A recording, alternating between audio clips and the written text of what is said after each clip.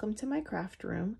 Today we are going to make epoxy tumblers, but we are going to use beads to make our design. So you might be familiar with these. They're kind of like Mardi Gras beads, and I just cut them basically a little bit longer than the length of a cup so that we can make our design. So we are going to get started. This is pretty easy of a cup to design. Uh, there's no rhyme or reason to uh, perfecting what you're going to do. So I'm going to begin with some acrylic paints. I have a few different brands in here. Uh, you can see that one of them is patio paint, but it is still acrylic paint.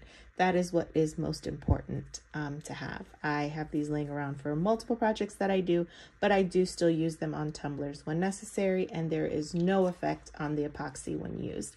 Again, you just want to make sure that it is acrylic paint. I picked a few different colors here that I want to use for the design.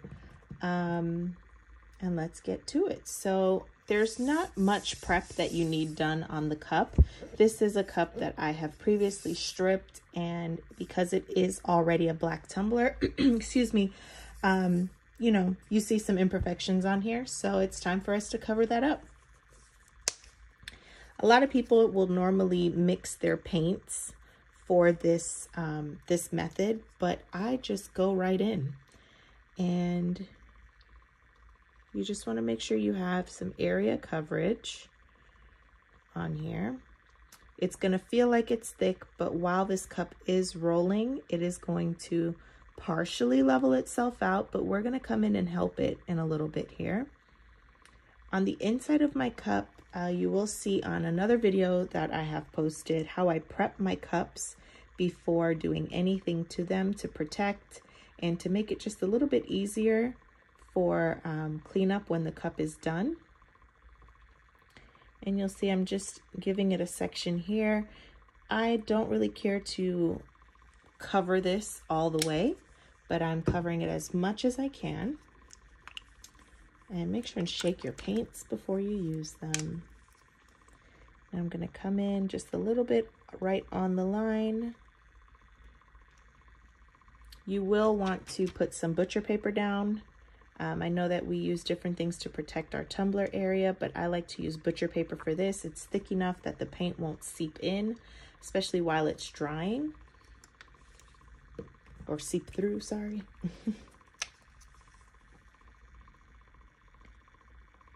and you can use these colors as much and as little as you would like based on what the design is that you want at the end and how these colors are going to blend. So I'm just giving a little bit of brightness to the middle before I get in with some more bland and darker colors, darker hued colors. And you can see up here already how it's starting to come together. I want to say you can't put too much paint on this design. There's no such thing as too much, but there might be depending on what you think is a lot of paint. I am going to show you guys how I'm going to even this out though. As soon as we get all of our layers in,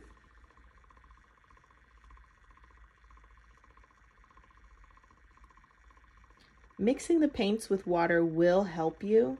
Um, you just want to make sure you have a good consistency on your paint. You don't want them to run too much off of the cup.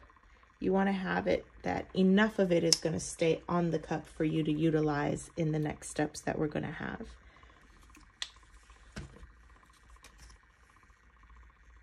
And if you give the cup a good enough amount of time, they will mesh into each other too.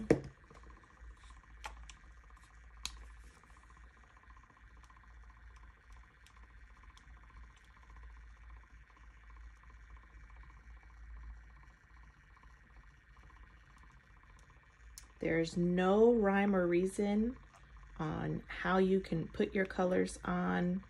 Uh, you can choose any colors that you want to. Just have fun.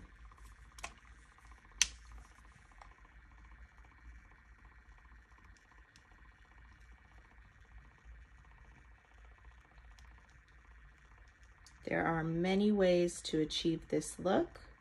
This is just the easy and just go at it way that I have found. I am a big believer in just get to the project once you have the right things and once you're comfortable. Just you want to get comfortable when you're making your cups. You want to just go into it, don't think about it, and just have fun. Now, I make sure and I get baby wipes and one of these little silicone brushes and I help it kind of go in very lightly. And this is me just helping to spread and get some of those areas that it's not really spreading to and help get some of the ex excess off.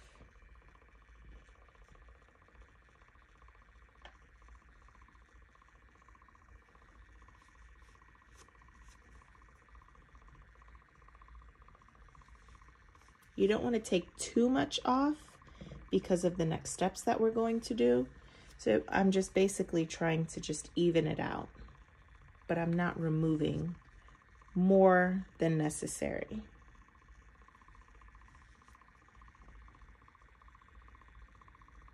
I'm literally on here very lightly and just spreading.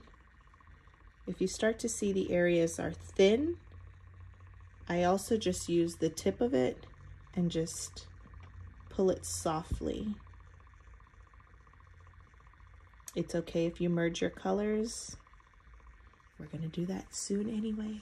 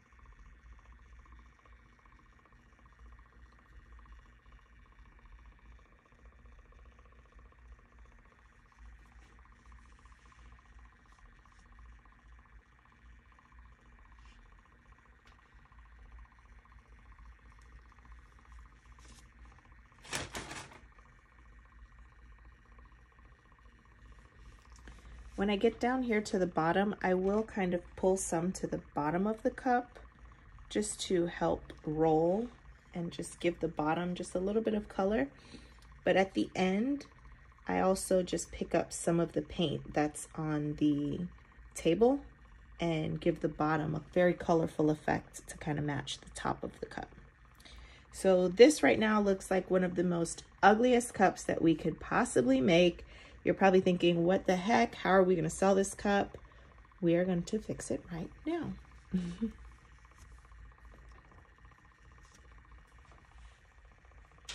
so now you take your Mardi Gras bead. You want to hold it pretty heavily, pretty strong, pretty tight. And now you go in up and down.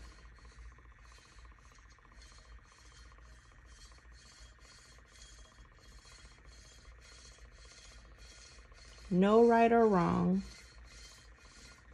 You can do up and down, or you can do little circles here. You want to make sure you're blending these colors pretty well. So while you're doing it, you're making sure that the beads, as it goes into the color, it's also coming through on the top and the bottom color, uh, the color that's on top and below it. So I go in first, just straight up and down, and then I come back in and I do the circles. Helping it go up and down helps those colors to mesh at first. And then now we're doing these circles to just give it a little bit of a nice design. so that it doesn't just seem so harsh.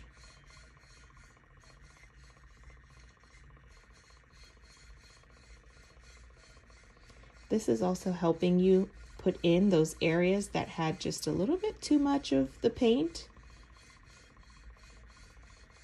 And so you're just merging them all in, giving everything a nice tone. You can go through as many rotations as you want to get the nice uh, effect that you're looking for. So as you can see, the longer that I'm doing this, the more the colors are merging in together. You don't see as harsh of spots. And that's kind of the look that I want on this cup.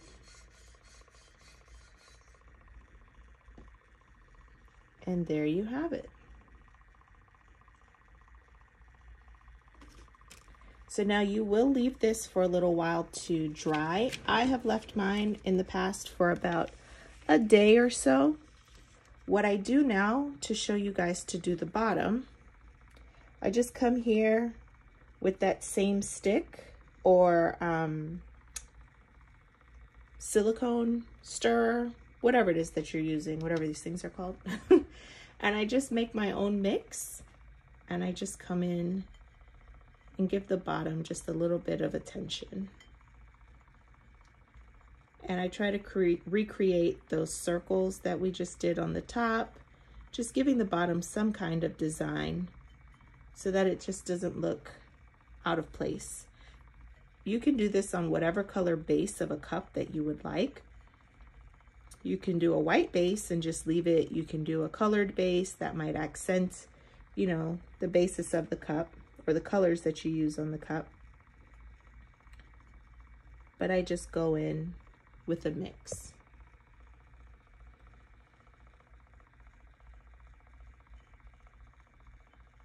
And I just move it around for any little streaked areas that might pull that might have pulled away as it was spinning.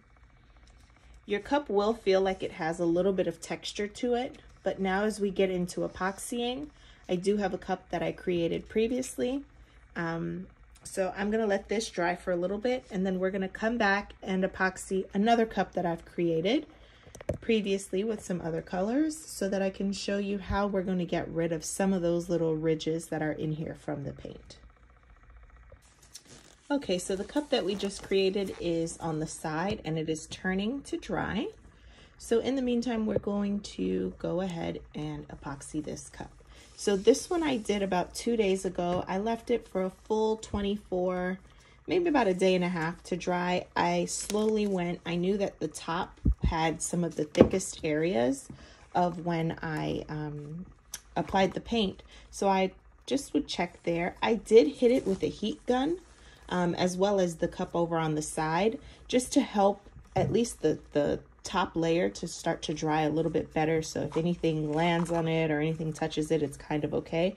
But to get that impact all the way through, you are going to leave the cup to turn for a few days or a day and a half. So now we are going to epoxy this cup. Uh, depending on when you're watching this video, I may be about to or I may have already posted a video about the epoxy that I use. I use only a little extra um, epoxy. With the scent is not the strongest of scents, but it is still important that we wear our PPE. So I am going to put my mask on and I might start to sound a little muffled. Pointing out skinny tumbler, I pretty much use about 10 parts of part A, 10 parts of part B for my first layer, just to give it a good coat. And then I come in with a second coat and um, I, I will give it a little bit more. Because this cup has so many ridges on there, I do want to take my time and come in with the epoxy slowly and not just do one full heavy flood coat on there.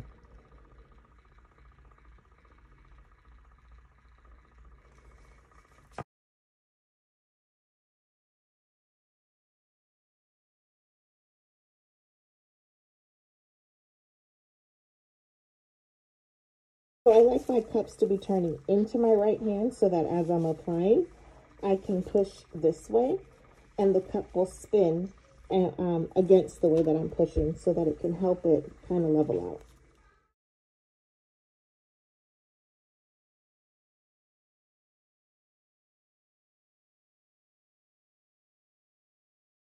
So I am feeling the ridges on the cup based on how I used the beads to thread in little areas.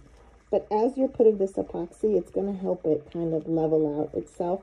And you're not going to feel those areas and those gaps as much.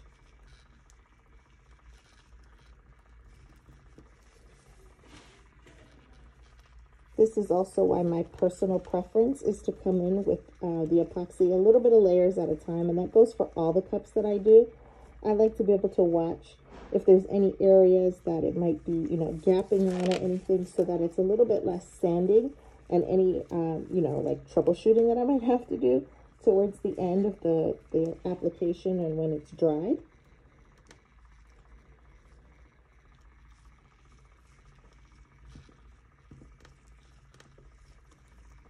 You always want to be sure that all of your base work, whether you're using paint, glitter, um, hand painting, just a base of spray paint, you always want to make sure that this is fully covered and nicely covered before you start to sand to apply any kind of vinyl or um, water slides or anything to your project.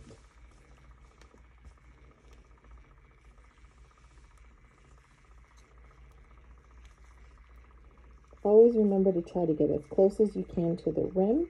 If you've watched my video on how to prep your tumbler, you will know that I put Vaseline on the inside of my tumblers, and that helps the epoxy not to dry and adhere to the inside or spread far, farther down in the inside of the tumbler.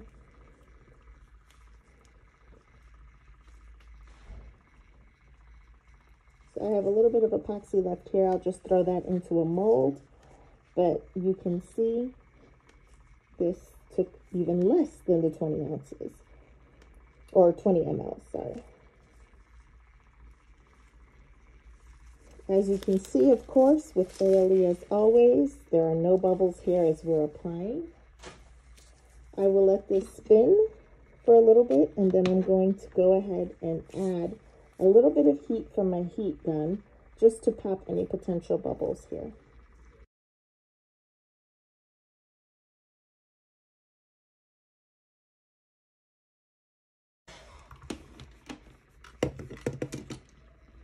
And that's that. So we're going to let this spin for about another three to four hours, and then we'll come in and double check if we can apply a vinyl or if we can add another layer or if the cup is done.